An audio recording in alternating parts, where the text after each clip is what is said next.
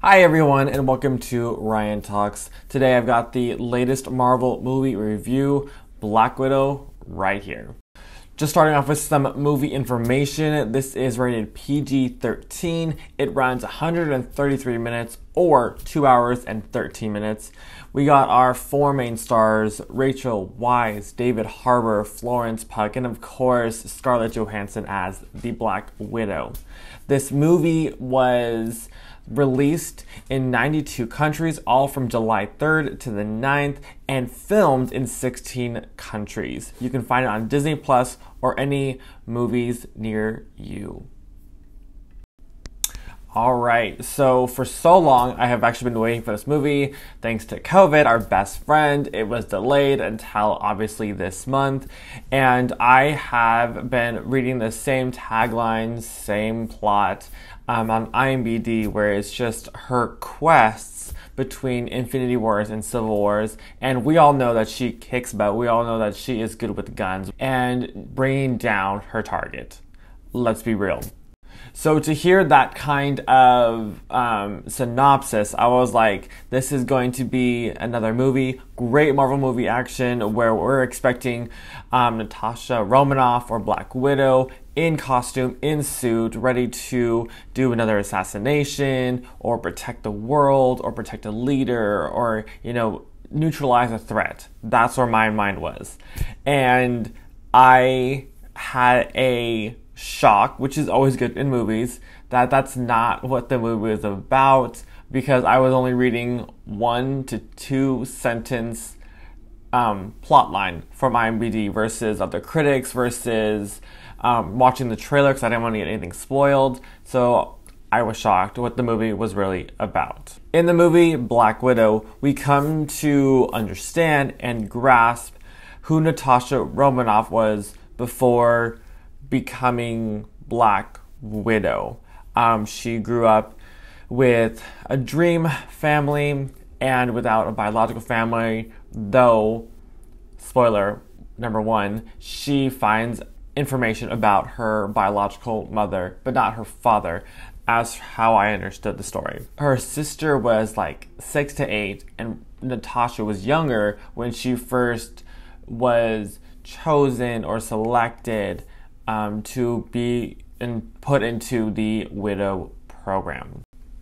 And this, when I'm sitting in the theater, was very confusing to me because I didn't understand um, how this was relating to an assassination or some kind of protection detail when the movie, for like half of the beginning or half of the movie actually, is about her background from childhood.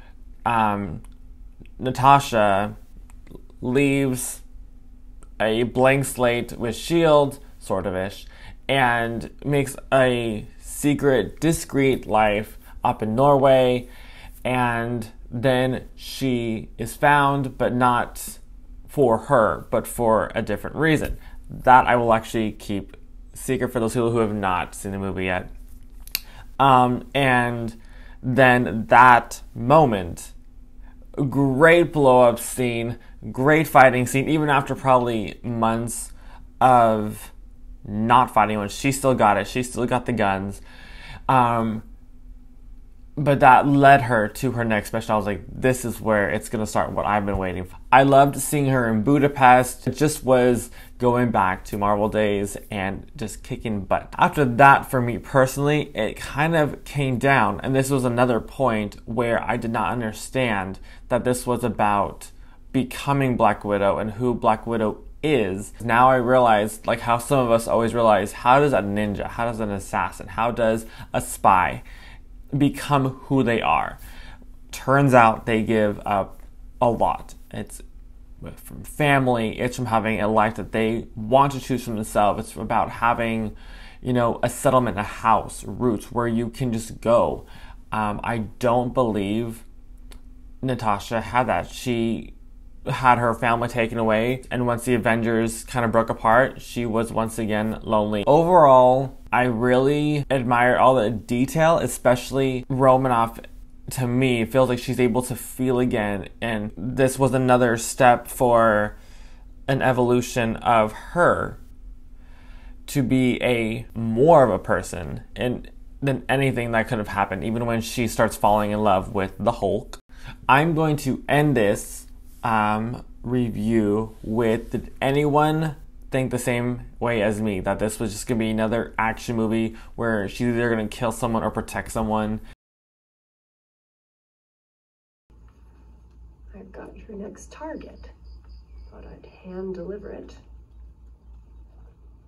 Maybe you'd like a shot at the man responsible for your sister's death.